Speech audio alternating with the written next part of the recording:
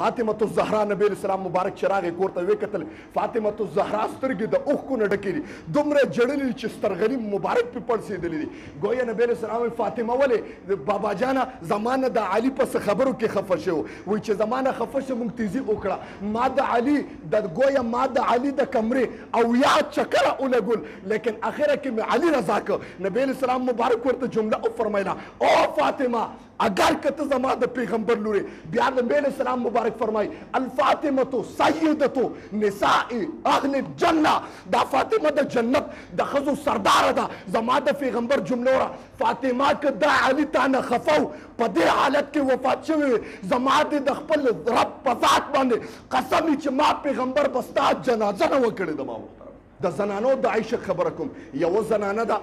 نبی علیه الصلاة والسلام مبارک په دور کې ګویا خاوند د جهاد له لاړ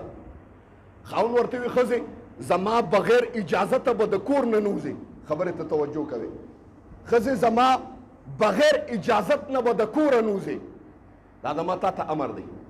خاون جهاد له لاړ په سفر باندې پته ولګېده څلورمه ماله کې د دغې زنانه پلار دې بیمار شو. عشق ته ګوره توجه کوې خبرې ته بالکل که کوم کس لم خوب جوټه ورکړه په نیمه کې به درته بندو زنانه پلار بیمار شو نبی علیہ الصلوۃ والسلام مبارک ته خبر وکړ د الله رسوله زما پلار بیمار دی و ما تخپل خاون اجازه نه دکړه چې د کور نه بنوځي نو د الله رسوله زه سوکم نبی رسول الله مبارک ورته او فرمایل ستا د خاون اطاعت پتا باندې لازم دی مزه الله به اجر درکې خبره ته توجه کوي مزید خبره کوم ځکه نبی رسول الله مبارک فرمایي زه تاسو یو خبره کوم نبی رسول الله فرمایي چې د خزې د پردا اجازه نشته چې د خاون نه بلا اجازه د کور بار وزي نن د زمونږ د مسلمانانو عالم وګوره خاون بار تر وزي او زه تاسو ته خبره کوم خزې خزې بازارونو ته وزي زما محترم تاسو وینئ بازارونه ډک دي لاړ شه ته د بنکروټ ګجو خان بازارونه وګوره قسم دې په مقابله د سړو کې ښځې ډېرې زیاتې دا زما او ستا د مسلمانانو لور او خویندې دي دا د کوم ځای نه رالې موږ دومره بې غیرته شو چې ستا لور خور په داسې لوپټه کې بار روزي چې کم څه ښکاري زما محترمو دا د مو ستا دپاره د شرم او د لعنت خبره ده نبی علیه السلام فرمایي په اخره زمانه کې عاریات مائلات ممیلات داسې ښځې به روزي چې بربنډې وي صحابو تپوس وکړو د الله رسوله دا به څنګه ښځې چې بربنډې نبی علیه السلام مبارک وي داسې ښځې به وي داسې کپړې به اچولي چې بربنډې به ښکاري په ټولو کپړو کې ا د قیامت علامات دي ظاهر شوي تاسو ته پته لګي ټول سرونه ښکاري اندامونه ښکاري زما محترم تاسو ته پته لګيږي په بازارونو کې ګرځي وي نبی علیه السلام مبارک فاطمه الزهرا کړه لړ فاطمه الزهرا واده کړی دا او درې ورځې پس لاړه ګویا نبی علیہ السلام فرمایي الفاطمه بضعه مني فاطمه زما د وجود یو ټوټه د خفه و پس پیغمبر درې ورځې پس و پس لاړه ورته فاطمه زه چې زو کور ته خبره ته توجه کوي فاطمه زه چې زو کور ته دا فاطمه ته لاسونه داسې کړ بابا جانا ته زما پلار می او ته د دوانو جهانو سردار می لیکن ما ته ستا د خولې مبارکې نه اورېدلې دي چې د خاوند بلا اجازې د کور نه تا سره نشم تللی د پیغمبر لور ته توجه کوي توجه کوي خبرې ته نبی علیه السلام وایي ښه نبی علیه السلام نبوت واله لمن راغونډه کړه د علي او د خپل لور په کور کې په ځمکه خاورو کې کچه دیوالونو ګویا نبوت والا ملا هغه کچه دیوال سره وجنګېده او کېناست وی علی چې راغی وی کتل آقای نامدار محمد عربی محمد رسول الله بلکې د تمام انبیاء امام د دوانو جهانو سردار اولی د چې په کچه خوره کې زما کچه دیوال ته نبوت والا ډډه والده علی چې اولی د سترګو نه اوخ کې وی د الله رسول تاسو په ځمکه ناسه نبی رسول الله مبارک وی او ستا انتظار ته ناسم وی د الله رسول چرته تاسو پیغمبر او چرته زما د علی زما د علي انتظار د الله رسول تاسو زما انتظار کو نبی رسول الله او وی ما د فاطمه نه تاسو کو چې راځه خپم د پسې کور ته راځه وی ما ته د فاطمه وی چې د علي اجازه بغیر نشم ته علي کستا اجازه نو د خپل لور بدن یو رس کور ته بولم او ته د الله رسول چرته ته پیغمبر او چرته زما کټوله دنیا دا داستا په صدقه دا نن ته د دوانو جهانو سردار که زما رب څه څه کار کوي په ځمکه نو ستا پیغمبر نه تپوس کوي د الله رسوله زما د علي څه مجال چې ته به زما نه تپوس کوې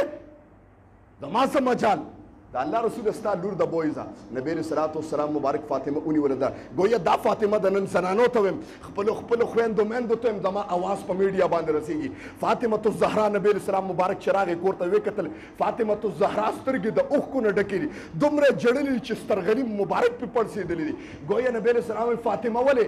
بابا جانه زما نه د علي په څه خبرو کې خفه شوې وه؟ وايي چې زما نه خفه شوه، موږ تېزي وکړه، ما د علي د ګویا ما د علي د کمرې اویا چکره ولګول، لیکن اخره کې مې علي رضا کړ. نبي علیه السلام مبارک ورته جمله وفرمایله، او فاطمه! اګر که ته زما د پېغمبر لور یې، بیا نبي علیه السلام مبارک فرمایي، الفاطمة سیدة نساء اهل الجنة، دا فاطمه د جنت د ښځو سرداره ده، زما د پېغمبر جمله وره، فاطمه که د علي تانه خفه و، په دې حالت کې وفات شوې وې، زما دې د خپل رب په ذات باندې قسم وي چې ما پېغمبر به ستا جنازه نه وه کړې، زما محترمه!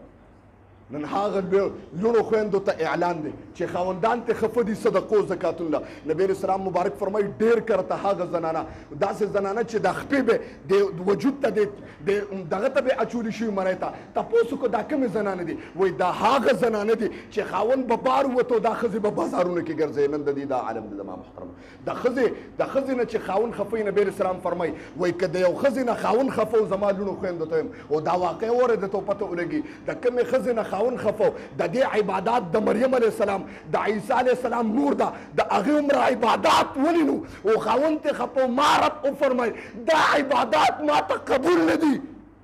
نن ته وګوره که تا نه خاوند زما خویندو میندو ته وایي که زما نه خاوند خفه و خاوند خفه و قسم د رب وایي زه خفه یم ستا یو عبادت څه کې ستا یو الف زرعه با ضربا نه قبلو منو نن ته وګوره قسم د خاوند د یو ځای پروت یو ښځی بل دی پرته وایي خپل کار به کوي د رالړو چې والله دې معافي وي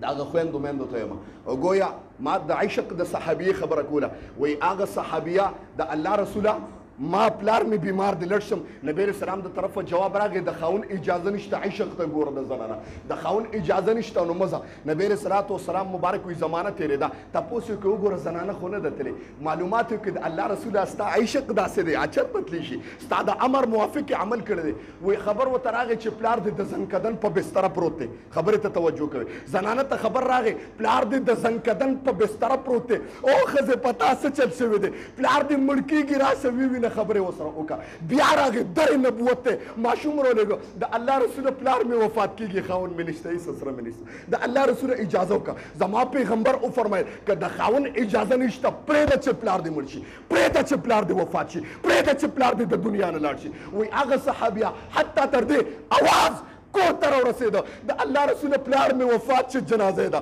پلار یې وفات شه د الله رسوله د پلار مې جنازه ده څه وکم بیا خبر راغی در نبوت ته آقای نامدار ورته وفرمایل د خپل مړ پلار مخ هم نشي لیدی د خاوند اجازه نشته پلار یې خخ که لور یې وجړل وژړل نبی علیه السلام تپوس وکړ د ښځې تپوس وکړه چې ورغلې ده که نه هغې ویل ته د الله رسوله ستا عشق پرې غالب دی پلار یې وله ښخ کړ لور یې په کور کې ژاړي خاوند یې نشته پلار یې وفات شو د الله رسوله د پلار مخ یې ونه لیده وایي چې کله یې خاوند راغی زما پیغمبر د هغه زنانه کور ته راغی د هغې عشق ته یې سلام وکړ ورته یې اواز وکړ چې زما رب د اسمان نه اواز کړی دی چې ستا او ستا د پلار مغفرت زما رب کړی دی ټول څوک سره سبحان الله دا د هغې ثمره وه. دا د یو ښځې د پاره د اطاعت خبره کوم. پلار یې مړ شو زما محترمو خویندو میندو ته ټولو ته ویم اواز زما په میډیا رسیږي ګورئ پلار یې مړ شو د پلار مخې اونیلې دي لیکن د خاوند بې اجازې د کوره اونه وته نن چې ته د خاوند نه په پټه وځې الله له به څه جواب ورکې د ما محترمو نن ستا ښځه داسې لکه د حیواناتو په بازارونو کې بربنډه ګرځي وایا وایا چې په مخ ته ځمکه تا ځان بربنډ وساته قسم د چې بربنډه د لاندې کوزه کې چې څنګه د خپل عزت نه د ساتلې داسې زما رب به ستا بربنډ عزت نه ساتي زما محترم دا یاد ساته دا ما خبرې سختې ګوره دا د عبرت خبرې دي عام خبرې نه کوم محترمو نو خبره مې دې پورې کوله د هغه صحابي عشق چې د خاون ګویا خاون دی نو راغلی کتلې و په دویمه ماله کې د خپل پلار کورو خپل مړ پلار دا د عشق خبره کوم